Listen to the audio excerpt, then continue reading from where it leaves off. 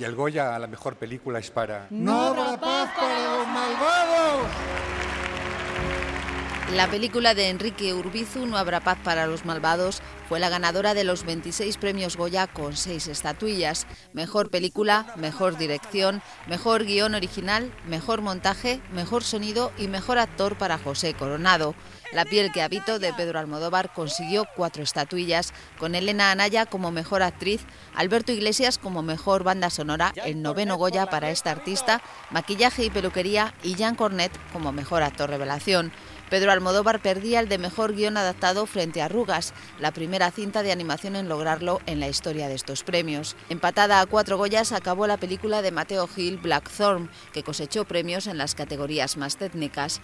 Tres Goyas consiguió La voz dormida de Benito Zambrano, que veía como dos de sus actrices subían al escenario, María León como actriz revelación y Ana Wagener como secundaria.